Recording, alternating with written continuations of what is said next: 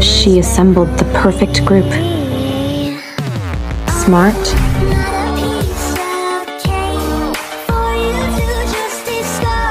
loyal, admiring,